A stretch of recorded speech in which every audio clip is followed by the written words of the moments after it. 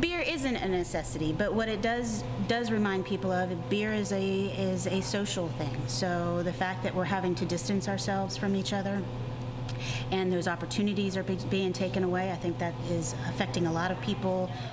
Me being able to be here and see our customers come in and smile when they see see me and great, you're still here. Um, it's reassuring to them that we're going to do what we can to try to keep things normal too. Yeah. Where does beer rank on your list of uh, emergency uh, supplies? Uh, beer, beer is up, the, up there with uh, whiskey. Uh, absolutely above toilet paper uh, right now, without a doubt. There's no no question. We did not buy toilet paper. You're still gonna have to touch it. Bye guys. Have a good one.